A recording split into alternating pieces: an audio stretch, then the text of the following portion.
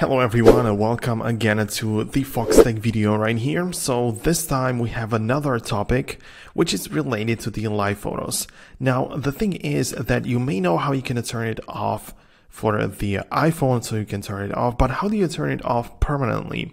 Like sometimes you disable the live photos, close the app, like the next day you open up the app and the live photos are still enabled and this may be kind of annoying. So of course if you open up the camera, the icon at the top, turn on live photos, live photos are turned off. But how you can make sure that it is permanently, that it's going to be staying this way. What you do in this case is that you open up the settings of your iPhone and in here, scroll down and find the mute, the camera section. So open up the camera like this. You have formats, videos and stuff, but I want you to click on preserve settings, which is right here. Preserve settings and get inside of here. The first options, the first five are, not really that important for us. We don't care about the modes and stuff, but we only care about the live photos. Live photos, as the description says, preserve the live photo settings rather than automatically reset it to live photos turn on.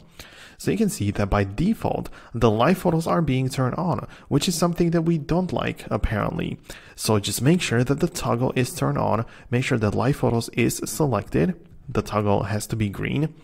And now, whichever settings you perform within the camera app, whether you decide to keep the live photos on or off, doesn't matter if you close the app and come back to it, it's gonna stay turned off no matter what. So you can see it right there, no problem with it at all. This is how you can permanently turn off the live photo capabilities on iPhone. So that's basically how it works. So before I just wrap up the video, I need to show you one more thing in here, which is the Foxtecc educational platform. It is a platform which I created and you can join for free. It's linked down below in the description. And inside you can find at the classroom section a bunch of different resources, full guides for many different apps, nice stuff. So yeah, it's free to join. Go ahead and check it out.